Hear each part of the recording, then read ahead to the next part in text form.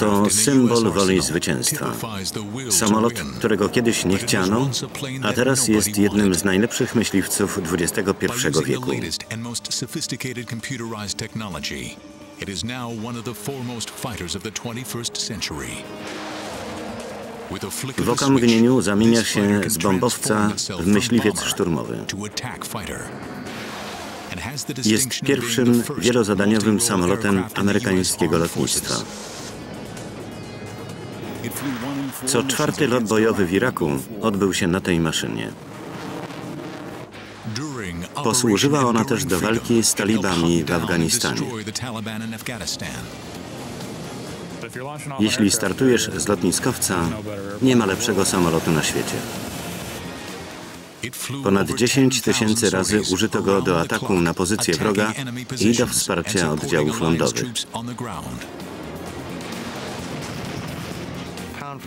Był to chyba najlepszy samolot, jaki Bóg pozwolił zbudować człowiekowi. Dzięki filmom archiwalnym i barwnym rekonstrukcjom wzbijemy się w powietrze F-18 Hornet.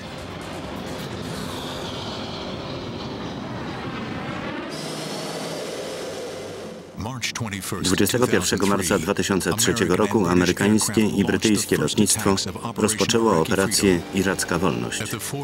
Atak poprowadziły F-18 Hornety amerykańskiej marynarki wojennej i piechoty morskiej. Precyzyjnie niszczyły strategiczne obiekty wojskowe. F-18 piechoty morskiej osłaniały wojska lądowe, które niszczyły umocnienia wroga.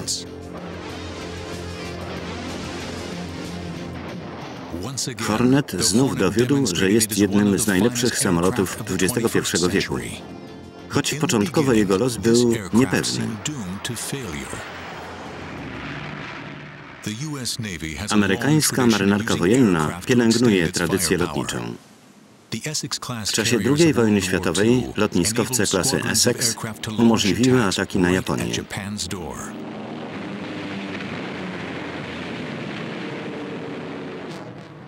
Po wojnie uznano, że przyszłość lotnictwa należy do odrzutowców. Maszyny te mogły stać się atutem marynarki. Trudno im jednak było lądować na okręcie. Jednym z kłopotów było odpowiednie wzmocnienie pokładu. Odrzutowce lądowały z dużą prędkością. Były cięższe od maszyn z napędem śmigłowym i po prostu wbijały się w pokład.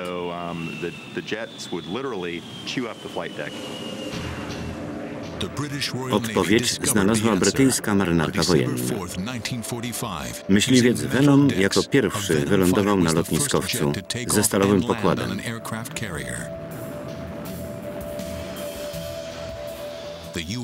Już 21 lipca 1946 roku James Davidson wystartował swoim McDonnellem Douglasem FH-1 z pokładu amerykańskiego lotniskowca Franklin D. Roosevelt.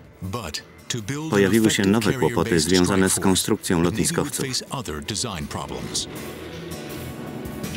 Wiele myśliwców, samolotów torpedowych i bombowców z II wojny światowej z łatwością startowało z pokładu lotniskowca. Ciężkie odrzutowce trzeba było katapultować, ale początkowo używano zbyt słabych katapult. Start był stresującym przeżyciem dla pilota. Potrzebna była mocniejsza katapulta.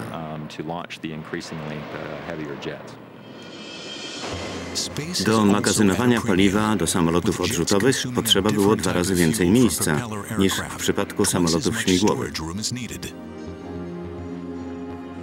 Przez lata marynarka wojenna testowała różne samoloty. Większość odrzucono. W 1961 roku marynarka otrzymała najnowsze myśliwce odrzutowe F-4 Phantom. Po długich poszukiwaniach zdecydowano się na F-4 Phantom. Był nie tyle myśliwcem, uh, ile samolotem przechwytującym, który mógł atakować w dużej odległości od lotniskowca um, i chronić go przed atakami. Lotnictwo marynarki wojennej używa bowiem samolotów szturmowych, ale wszystkie pozostałe służą do ochrony lotniskowca.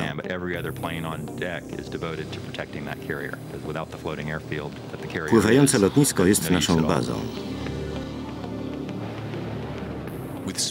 F-4 Phantom rozwijał prędkość ponad 1600 km na godzinę.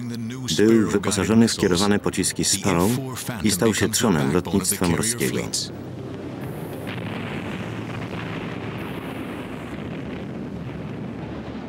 Stał się królem nieba nad Wietnamem.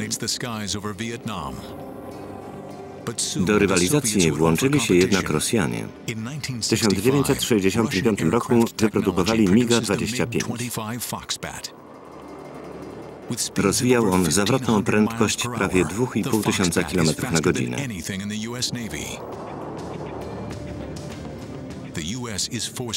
Amerykańscy projektanci wznowili pracę. W 1973 roku oddano do użytku F-14 Tomcata. F-14 pojawił się zanim Amerykanie wyszli z Wietnamu. Był to również myśliwiec przechwytujący dalekiego zasięgu. Mógł atakować wiele celów jednocześnie. W latach 70. myśliwce wciąż pełniły funkcje maszyn przechwytujących. Koszty produkcji dużej liczby drogich maszyn były jednak zbyt wysokie.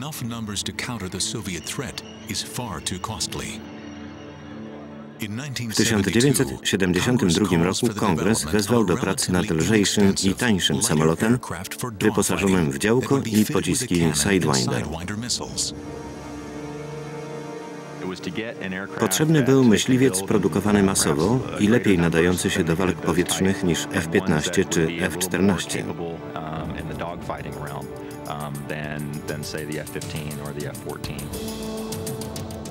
Firma General Dynamics budowała wtedy jednosilnikowy myśliwiec F-16 Falcon. Rozwijał on prędkość ponad 2100 km na godzinę i był doskonale uzbrojony.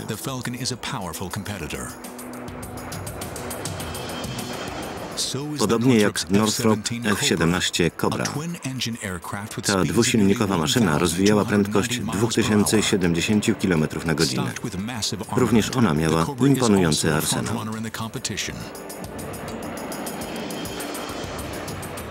Amerykańskie lotnictwo postanowiło sprawdzić oba samoloty.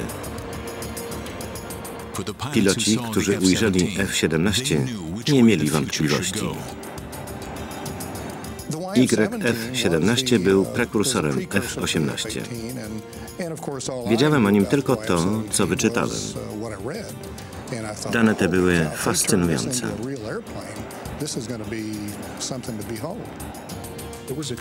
Ten nowy samolot miał wielki potencjał.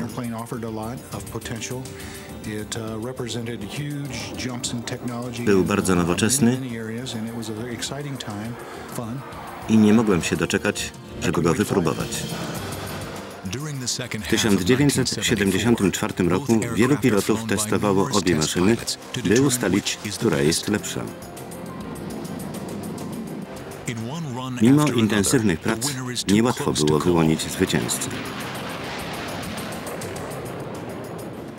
Przemysł lotniczy czekał na decyzję, od której zależała przyszłość lotnictwa marynarki wojennej would change naval aviation history forever.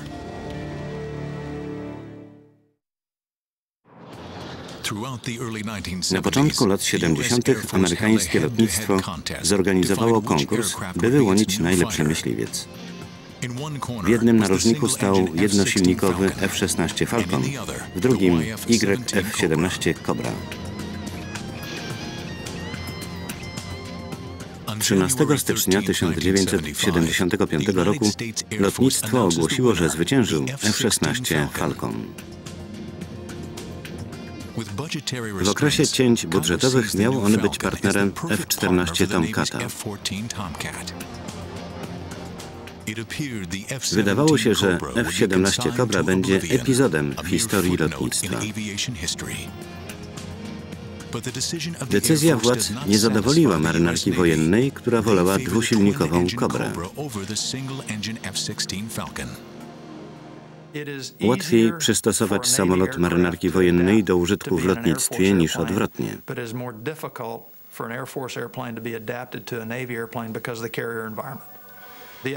Rozmiar F-16, jego podwozie, brak składanych skrzydeł i inne szczegóły wykluczały możliwość wykorzystania go. Teraz marynarka wojenna miała wypróbować obie maszyny. Po długiej debacie kongres poszedł na kompromis. Najlepsze cechy F-17 miały się znaleźć w zupełnie nowym samolocie.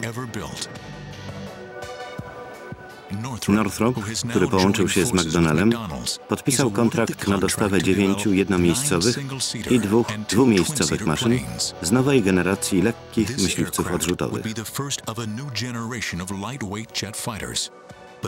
Samolot trzeba było przystosować do użytku na lotniskowcach. Początkowo podwozie YF-17 było typowe dla lotnictwa tradycyjnego. Miało małe wnęki na koła.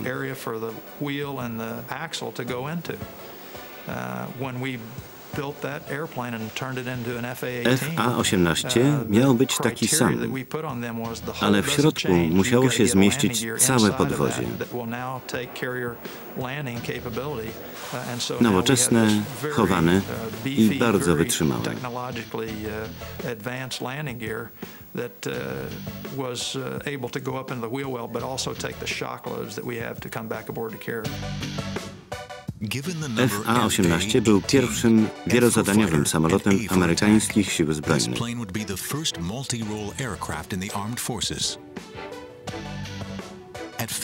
Miał 17 metrów długości, rozpiętość skrzydeł 11,5 metra i przenosił ponad 7,5 tony uzbrojenia. Dwa silniki General Electric rozpędzały samolot do ponad 1700 km na godzinę.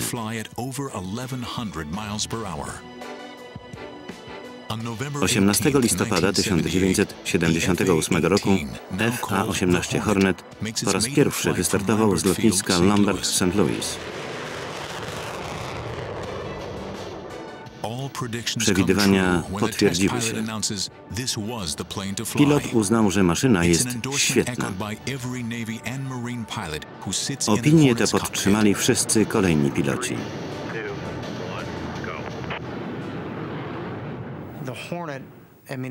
Siedząc w Hornecie czułem się jak na skrzydłach anioła. Samolot był bardziej czuły na ruchy steru, zarówno przy małych, jak i dużych prędkościach. F-18 miał wszystko, o czym marzył pilot myśliwca. Był szybki, mocny, zwrotny i miał niesamowity arsenał.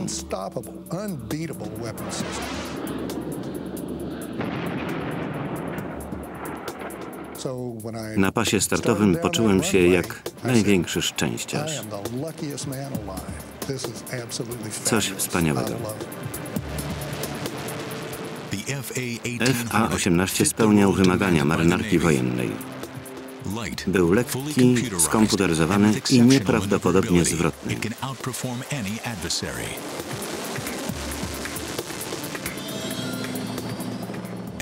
Wraz z postępem techniki samolot stawał się coraz lepszy. W 1981 roku piloci nie mogli się doczekać, by go sprawdzić. Nie mogliśmy się doczekać. Należałem do szczęściarzy, którzy jako pierwsi zasiedli za jego sterami. To wspaniałe uczucie. Start nie sprawiał kłopotów. Otworzyłem przepustnicę, przyspieszenie wcisnęło mnie w fotel, schowałem podwozie i wzniosłem się z ustaloną prędkością około 650 km na godzinę. Leciałem w towarzystwie kolegi i wykonywaliśmy proste ćwiczenia.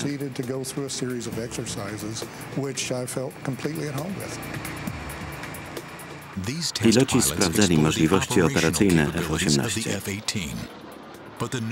Ich następcy natknęli się na rozmaite wyzwania. Jednym z nich była nowoczesna kabina niczym z Gwiezdnych Wojen.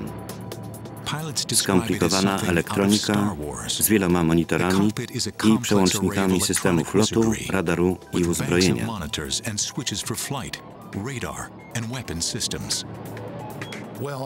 W kabinie jest bardzo cicho. Doskonała widoczność. Osłona kabiny nie ma niepotrzebnych sporników. Wszystko, co potrzebne, jest przed pilotem. Rzadko trzeba pochylić głowę, by znaleźć jakiś przełącznik.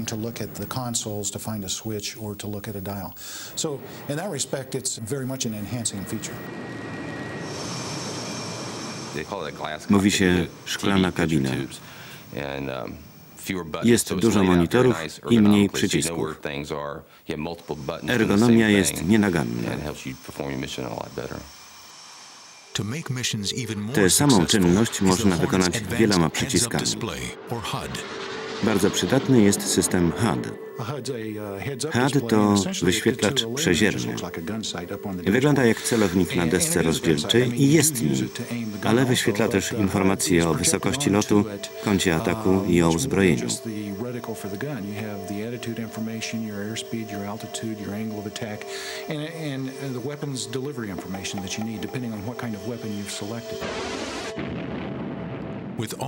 Starsi piloci uważają, że wyświetlacz zawiera nadmiar informacji. Pilot F-18 musi się nauczyć, czego potrzebuje i gdzie tego szukać. Młodzi piloci początkowo spędzają zbyt dużo czasu z pochyloną głową, odczytując wskazania przyrządów, zamiast obserwować świat poza kabiną. Trzeba się przystosować.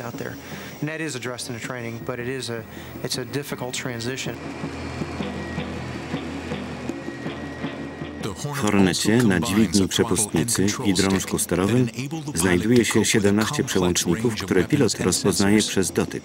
These two sticks have a total of 17 switches that the pilot must identify by touch alone.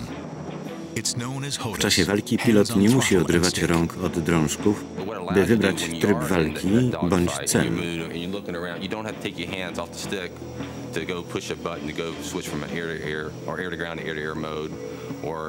Wszystkie potrzebne przełączniki ma pod palcami.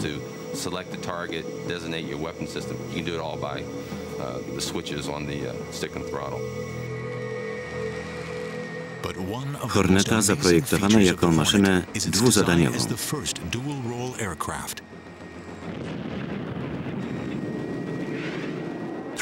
Zwykle samoloty pełnią funkcję myśliwca lub bombowca. Dzięki odpowiednim komputerom i oprogramowaniu Hornet może się przekształcać z bombowca w zabójczy myśliwiec. Może realizować misję jako bombowiec, jako maszyna zwiadowcza albo szturmowa.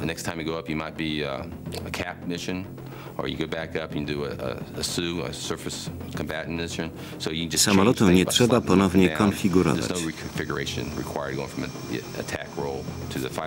Można też zabrać na pokład uzbrojenie do zwalczania celów powietrznych i naziemnych. Hornet dostał zielone światło od lotnictwa. Niechciany niegdyś samolot stał się przebojem. F-18 wzbudzał zainteresowanie lotnictwa i marynarki wojennej. Zamówienia napływały z całego świata. Hornet musiał się jeszcze sprawdzić na polu bitwy. Użyto go do walki z terroryzmem na Bliskim Wschodzie.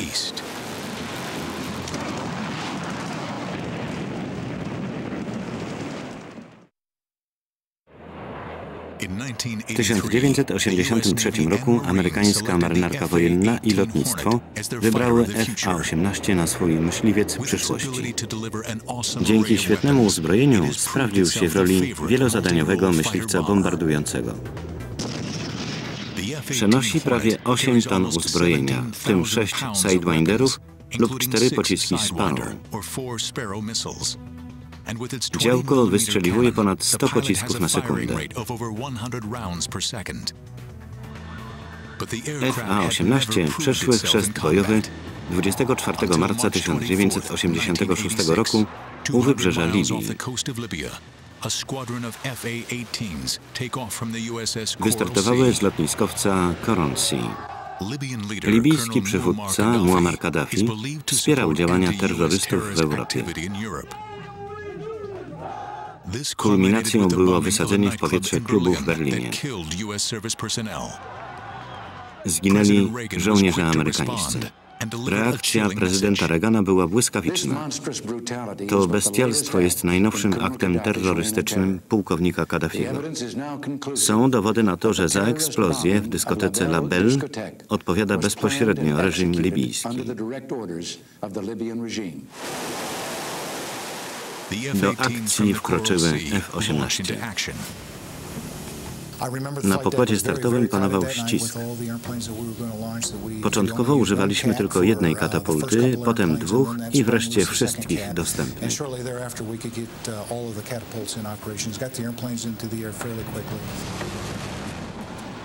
Zgodnie z planem każdy Hornet przeprowadzał atak samodzielnie.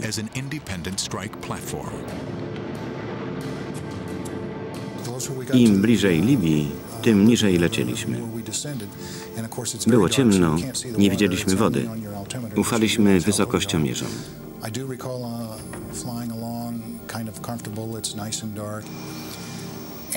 Wystrzeliłem rakietę. Po chwili ujrzałem też eksplozję na zachód ode mnie. Przylecieliśmy punktualnie, niepostrzeżenie, przy zerowej widoczności.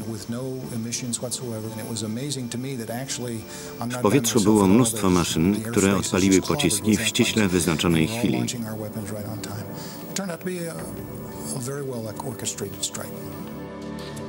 Hornety ostrzelały wyrzutnie rakiet SAM-5 rakietami HARM, użytymi po raz pierwszy.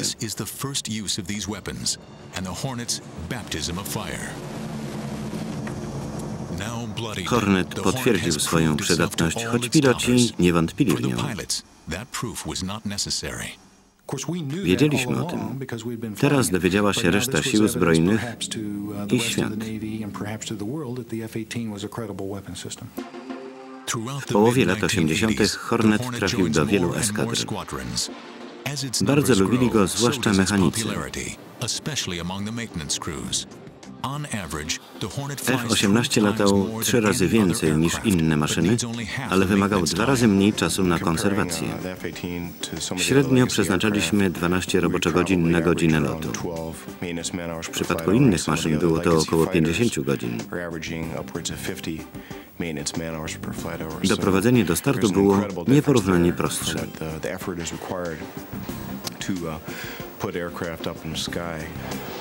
Pamiętam, że kiedyś trzeba było wymienić silniki w dwóch maszynach. Przez całą noc wymieniliśmy silniki w siedmiu samolotach.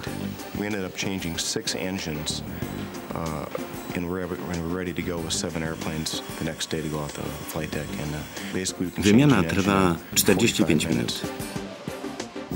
Jeśli wystrzelono pociski, przeładowujemy. Jeśli trzeba coś wymienić, wymieniamy. Wkrótce samolot jest gotowy do dalszej eksploatacji.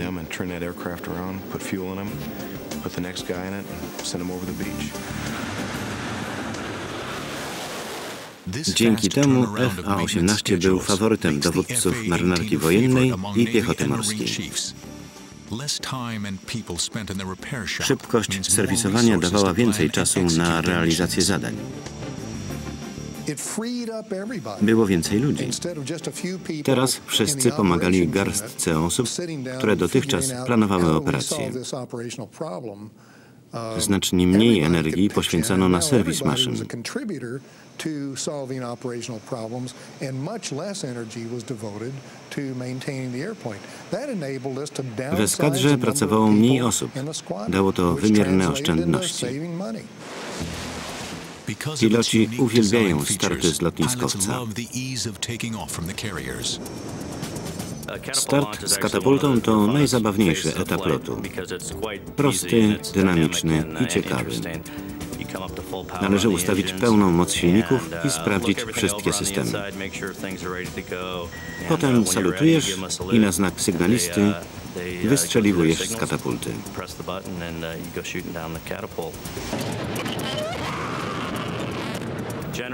F-18 w 2 sekundy przyspiesza do prędkości 280 km na godzinę.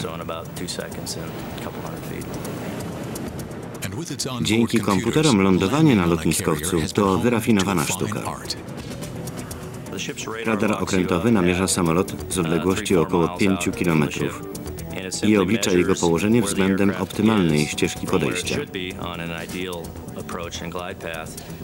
Komputer wykonuje obliczenia wiele razy na sekundę, aktualizując i korygując dane w czasie rzeczywistym.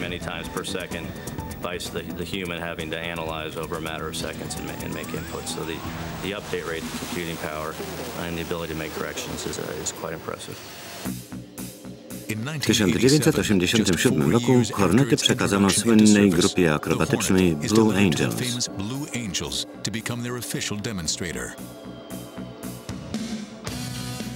Zdumieni widzowie po raz pierwszy ujrzeli tę niezwykłą maszynę.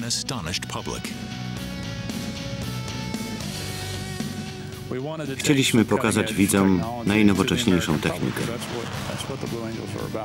Praca Blue Angels polega na demonstrowaniu możliwości sprzętu i ludzi.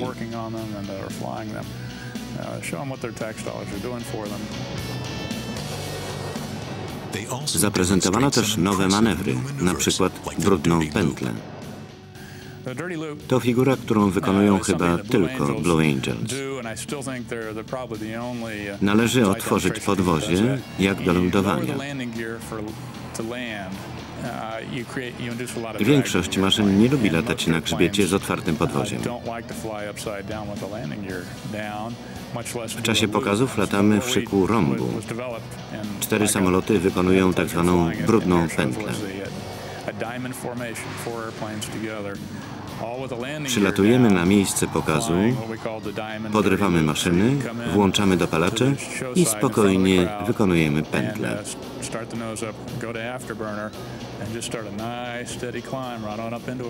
Kończymy ją i wyłączamy dopalacze. Potem wysuwamy hamulce powietrzne by nie lecieć za szybko ze względu na wysunięte podwozie.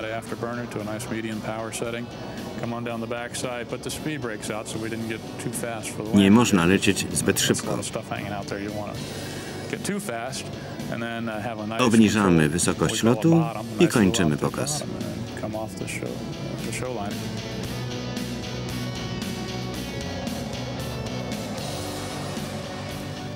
Odległości między maszynami zmieniają się w zależności od manewru. Odległość minimalna to około pół metra pomiędzy osłoną kabiny jednej maszyny, a środkową częścią skrzydła drugiej. I to przy prędkości 650 km na godzinę. Tylko zupełne skupienie może zapobiec tragedii. Niesamowite. Latałem z przodu i nie widziałem tych odległości. Koledzy mówili, szefie, nie oglądaj się, musisz być skoncentrowany. First of all, we want you focused ahead, and, uh, and we, we don't want the distraction either. I mean, Kiedyś podrapałem się w nos i po powrocie powiedzieli, widzieliśmy, nigdy więcej tego nie rób. Śledzą sytuację.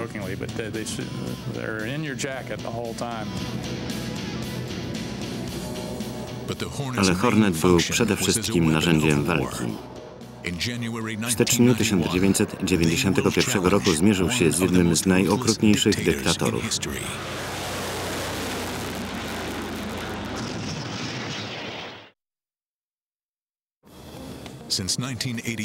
Od 1983 roku FA-18 Hornet jest myśliwcem szturmowym marynarki wojennej i piechoty morskiej Stanów Zjednoczonych. W 1985 roku ten myśliwiec bombardujący potwierdził swą przydatność w walce z reżimem Kaddafiego. W styczniu 1991 roku koalicja państw ONZ-u szykowała się do ataku na cele w Iraku. Hornety miały startować z lotniskowcem. 48 godzin przed pustynną burzą przyleciał H-53 z Arabii Saudyjskiej. Przekazano nam plany operacji. Przebraliśmy się, napisaliśmy listy do bliskich i zaczęło się dla nas 100 dni walki. and said, uh, "This is it." Then uh, off we went uh, for the next hundred days. To jak gra w futbol. Trenujesz, by w końcu rozegrać ważny mecz.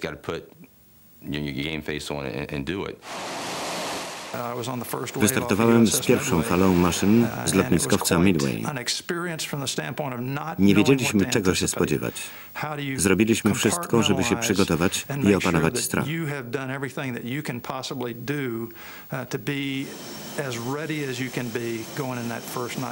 and, control uh, and just knowing that you got a job to do uh, and that's what it's all about. Samoloty koalicji wystartowały 17 stycznia. Zaczęła się wojna w Zatoce Perskiej. Po zatankowaniu Hornety skierowały się na cele. Gdy lecieliśmy nad południowym Kuwejtem, widzieliśmy z lewej strony błyski eksplozji.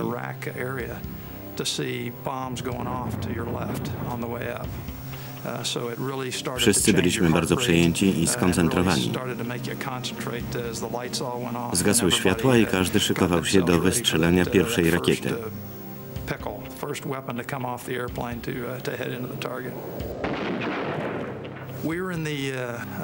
Pierwszego dnia niszczyliśmy wyrzutnie skudów w rejonie Basy. Iracka artyleria przeciwlotnicza miała na koncie wiele zestrzelonych maszyn. Lecieliśmy trochę wyżej i ciągnęliśmy ze sobą cele pozorne, przyciągające rakiety ziemia-powietrze, aby A-6 mogły zaatakować wyznaczone cele.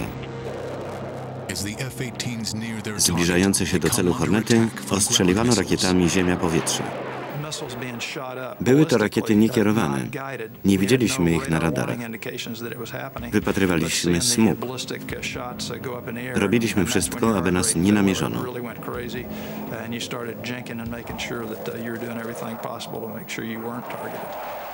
Gdy podczas ćwiczeń zrzucaliśmy bomby, cel wybuchał.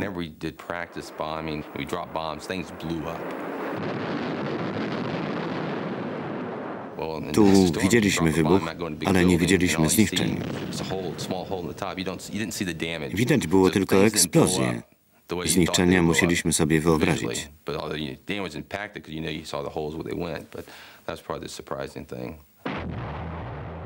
O 14 pierwszego dnia eskadra Hornetów z lotniskowca Saratoga namierzyły dwa irackie MiGi-21. Dwa Hornety wystrzeliły rakiety Sidewinder i Sparrow. Oba MiGi zostały zniszczone. Było to pierwsze zwycięstwo F-18. Stres nas nie opuszcza. Pilot robi wszystko, by przygotować się do walki i wrócić. Ale najgorsze dopiero przed nim. Trzeba wrócić i wylądować na lotniskowcu.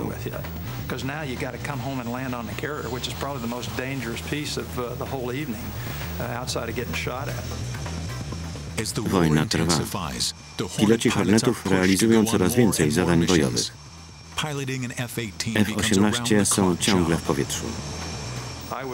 Latałem przez dwie, trzy godziny, wracałem na obiad, wykonywałem czterogodzinną misję. Wracałem, by ocenić efekty bombardowań. Zjadałem coś i kładłem się na kwadrans, po czym znów szedłem na odprawę.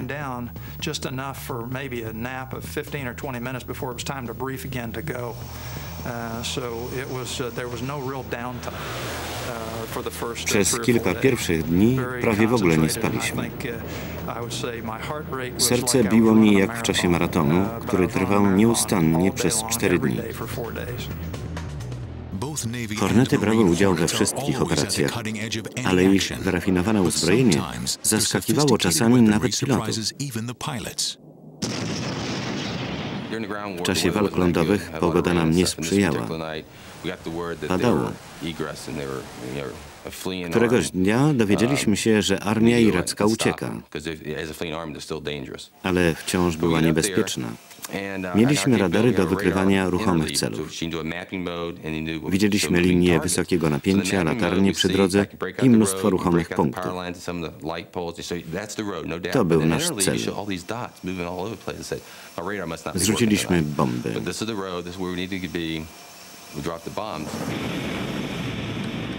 Po powrocie wszyscy przyznali, że widzieli to samo.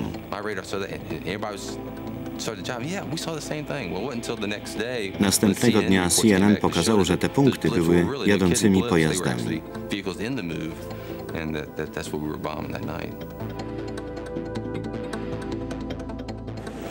Przez 100 dni 174 Hornety wystartowały ponad 9 tysięcy razy. W szczytowym okresie kampanii każdy Hornet wykonywał dwa loty dziennie.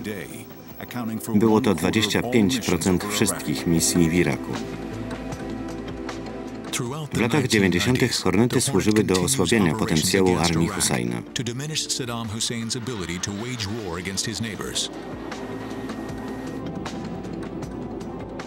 Pod koniec XX wieku Hornetów używano we wszystkich najważniejszych wojnach. Na początku XXI wieku Hornety wykorzystano podczas najtrudniejszej próby wojsk amerykańskich od czasów II wojny światowej.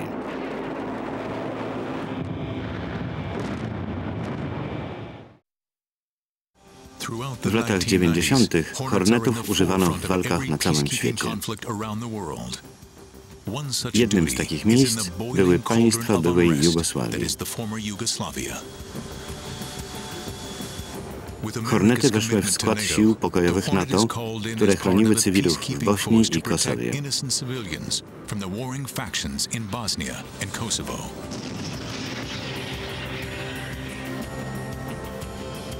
W listopadzie 1999 roku oddano do użytku lepszego i większego Horneta.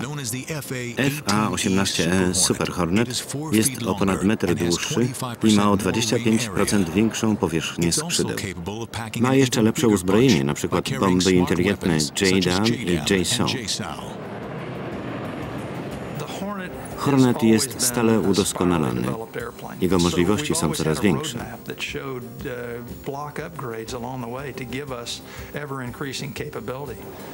Ewolucja F-18 trwała ponad 20 lat. Super Hornet miał jeszcze większy potencjał.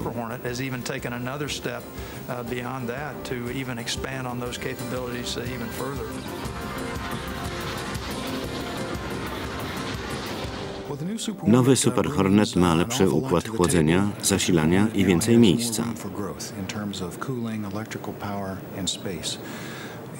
Pierwotny radar APG-65 był znakomity, ale blednie przy nowoczesnych układach elektroniki aktywnej i radarach cyfrowych.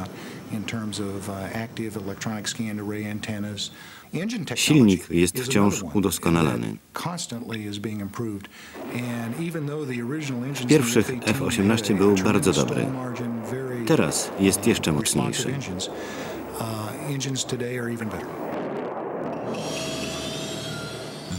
Samolotów tych użyto ponownie po 11 września 2001 roku.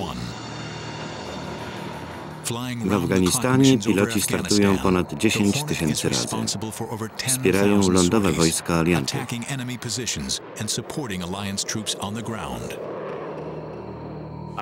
Płynęliśmy lotniskowcem Theodore Roosevelt.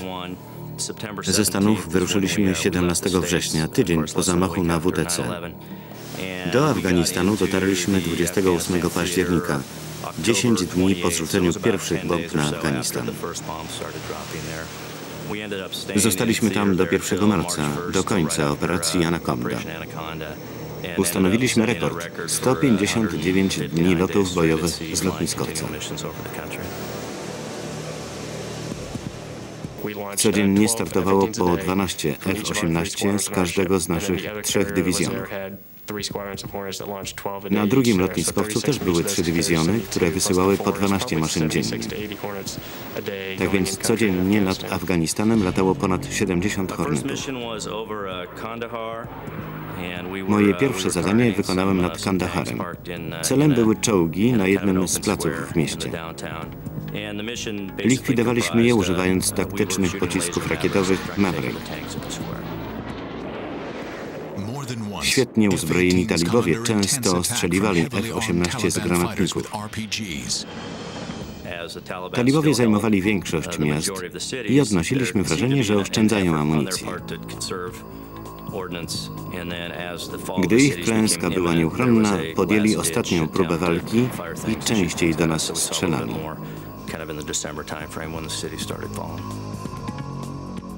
Pilotom F-18 wydano też instrukcje postępowania na wypadek zestrzelenia.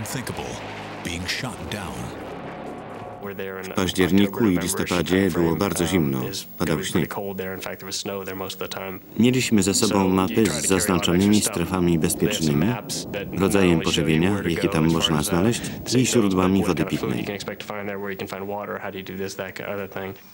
Na wypadek wędrówki po górach miałem rękawice, ciepłe ubranie, wodę i wiele rzeczy, których zwykle nie zabieraliśmy ze sobą. W Afganistanie akcja ratunkowa mogła trwać nawet tydzień. Wszyscy piloci musieli przyzwyczaić się do codziennego stresu i zmęczenia. Loty trwały po 6, 7, a nawet 9 godzin. Tak długotrwałe siedzenie w fotelu bardzo wyczerpuje. Piloci F-18 mieli jednak sposób na stres. Autopilot pozwala ustawić kierunek, prędkość lotu i zjeść obiad. Wysokość fotela jest regulowana. Można wyciągnąć nogi, rozluźnić pasy i wykonywać ćwiczenia, które pozwalają pokonać zmęczenie.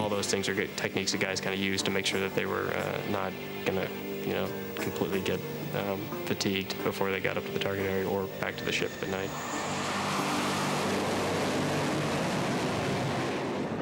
Hornet stał się główną bronią amerykańskiej marynarki i piechoty morskiej. W każdej chwili mógł zaatakować w głębi terytorium wroga. Na Bliskim Wschodzie użyto go znowu w 2003 roku. Super Hornetów użyto po raz pierwszy do obalenia reżimu Saddama Husseina. Zaledwie jeden dywizjon Super Hornetów z lotniskowca Abraham Lincoln zrzucił prawie 160 ton bomb z 98% celnością.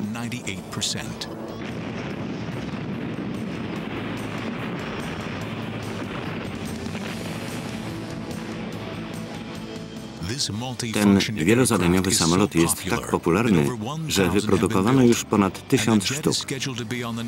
Amerykańska marynarka zamierza użytkować go do 2025 roku.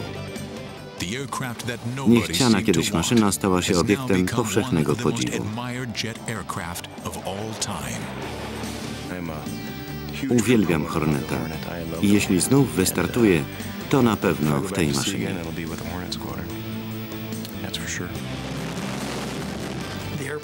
Hornet to bezpieczny samolot wielozadaniowy. Nie zamieniłbym go na żaden inny.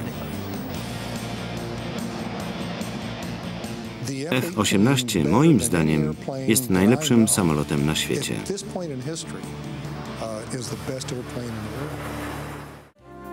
Wersja polska Studio Publishing na zlecenie Polskie Media Amercom. Tekst Dariusz Makulski. Czytał Janusz Kozioł.